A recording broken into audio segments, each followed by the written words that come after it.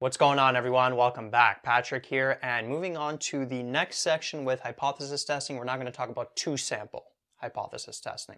So up until this point, we've been doing hypothesis testing on one sample from one population. So we have a population, we have some kind of assumed truth about it, some kind of status quo, which is also the null hypothesis. And what we do is we take that population, take one sample from it, test the sample, and see whether that status quo has changed, whether that null hypothesis changed, whether there's more evidence pointing towards an alternative hypothesis. But now what we're going to be doing is working with two samples. And to show the difference between one sample and two samples, I'm going to bring back a popular example that I've been working with up until this point.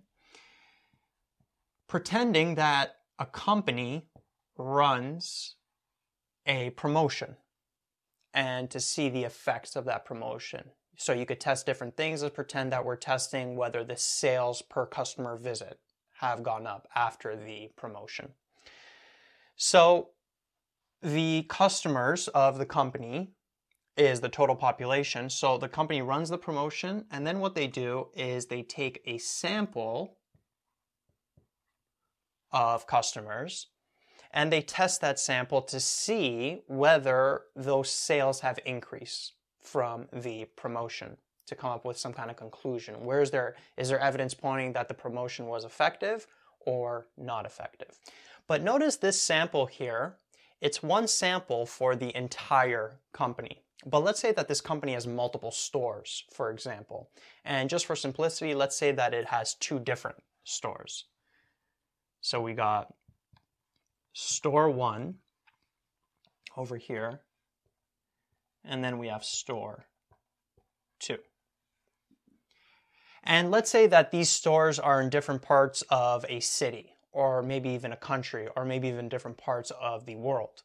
And the company wants to test how effective the promotion was for each store separately and maybe see if there's any differences in the promotion for this store versus this one so they know when to run or how big of promotions to run for these two different areas. So instead of taking one sample for company wide, for the customers company wide, they take a sample of customers from this store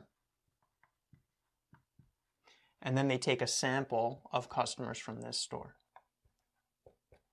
right? So instead of working with one population, taking one sample from one population, we split it up into two populations and now we're taking samples from both populations. And then again, testing whether there's potential differences in the effects of the promotion on this store versus this one. We could test for whether they're different. We could test whether the sales have um, whether there's more sales for this store versus this one after the promotion, that would be a one-tail test, or vice versa, right? If the sales for this store was greater than this one after the promotion, right? So again, we could be doing one-tail test, two-tail test for two-sample hypothesis testing as well. So that's just an example of how we'll be using two-sample hypothesis testing. Again, very high level. We're going to get more technical. But as usual, I want to start with a higher level before going further.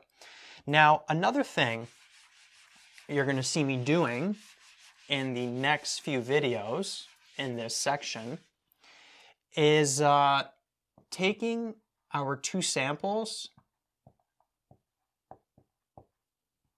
and making a further distinction about them. And the distinction is whether the two samples are independent or dependent. Right? It's actually going to affect the type of hypothesis testing we do. And the difference between independent samples and dependent samples, the independent samples, the observations in both are unrelated. So an example of this is the example I just went over with the two stores in different parts of a country, for example. The customers the sample of customers from each store, they're unrelated to each other, right? And so that would be an example of independent samples. Versus dependent samples, the observations in each sample are related somehow. So a couple of examples for this. Let's say, um, for example, you're testing whether a student's marks in a certain school, or let's say a certain school board, the difference, uh, you're testing for difference, uh, differences in math and science marks. You want to see if there's some kind of difference between those two. So your two samples would be math marks versus science marks. And to make this test legit, you have to test the marks for math and science for the same student, right? So you would take, for example, student A, find out what their math marks are, and then you would take that same student, find out what their science marks are. And then you would take student B, right, get their math marks, and then you would take that same student's science marks.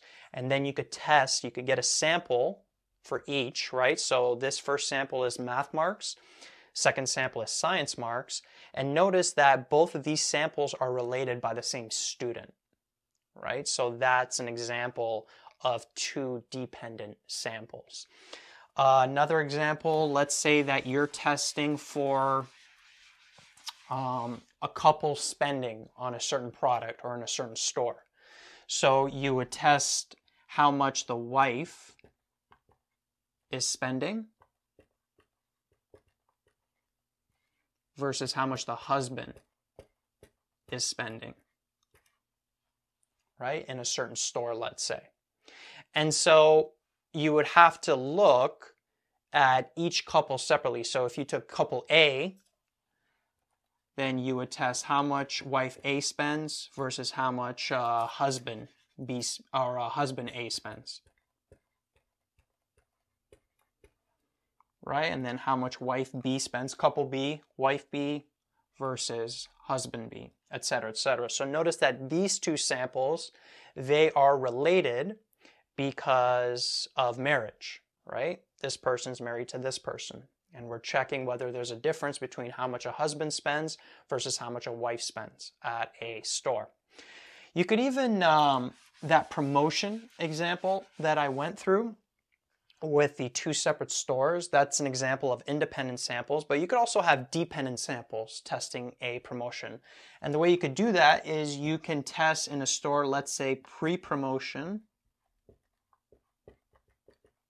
spending versus post-promotion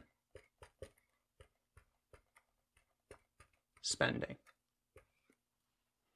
Right? And you would test the same customer. So you would find out on average, how much did customer A buy at the store before the promotion? And then how much did customer A, that same customer, spend at the store post promotion? So notice that these two samples, so you would have customer B, customer B over here, etc., etc. So these two samples are related by the same customer, right? So hopefully you get the differences between dependent samples and independent samples from those uh, examples. As you do more questions, you're going to start to know whether this is an independent set of samples or a dependent set of samples. You're going to get more questions with independent set of samples, just as a heads up. Because with dependent samples, there's only one kind of hypothesis testing that we're going to be doing. And actually, that's a good segue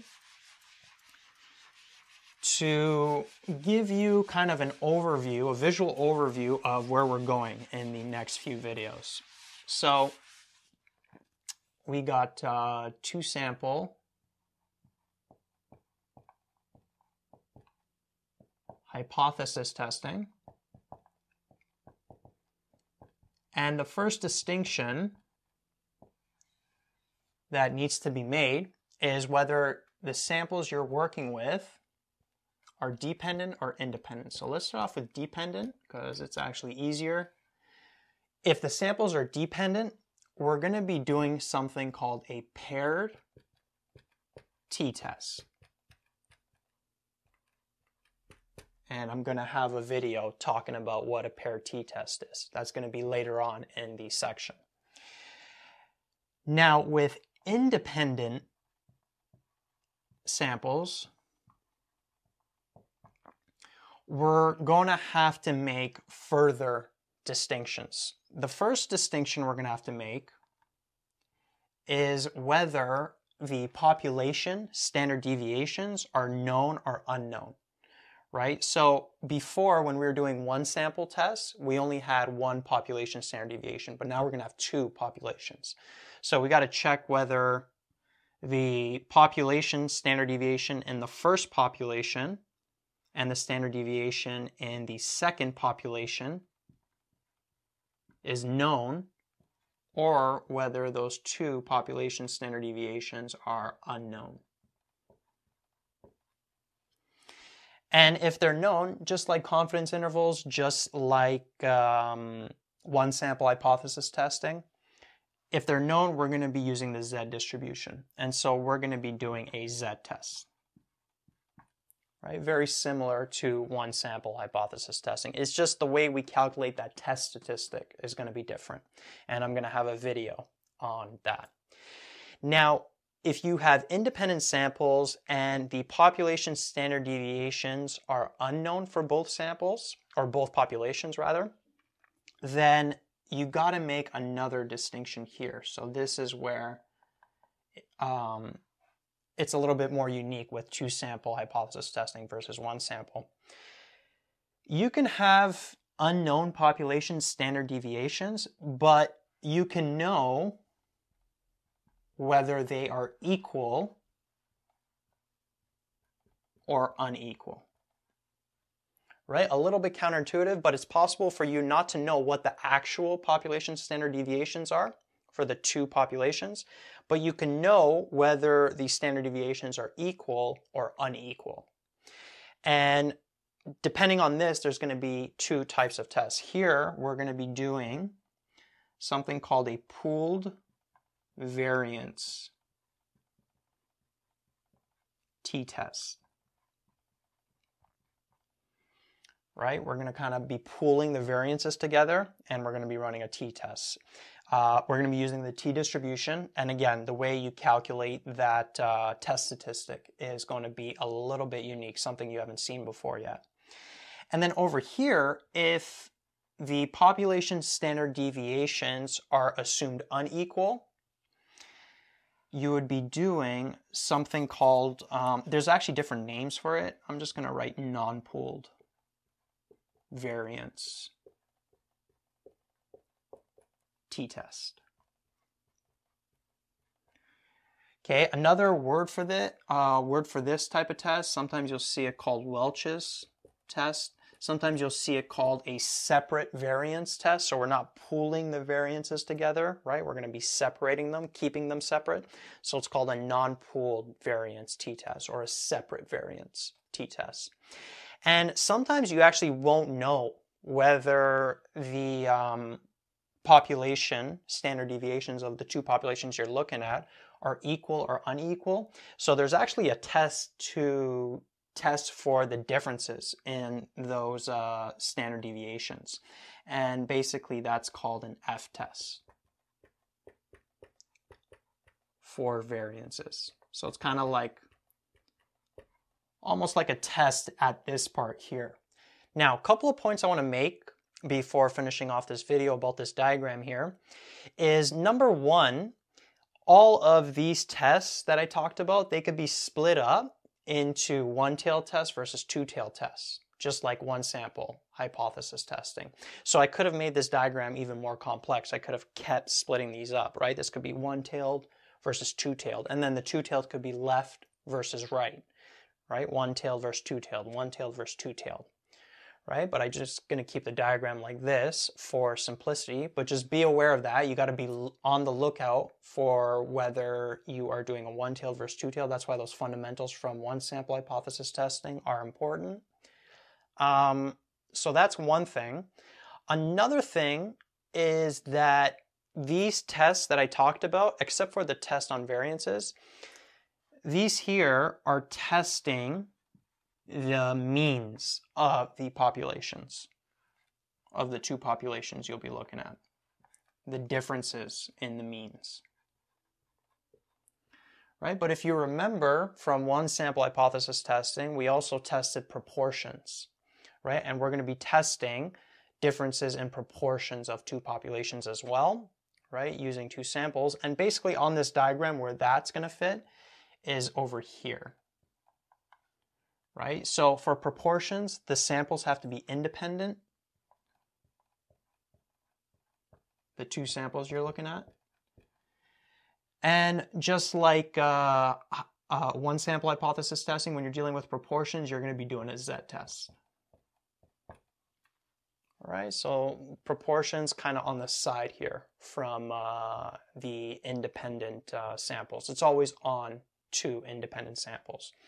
And uh, you're always going to be doing a z-test, not a t-test. Right, so these tests over here, they're always on the means right? Thought I would make that distinction. And then this f-test here is uh, related to the uh, variances of the two samples, or the two populations rather, that you are uh, looking at.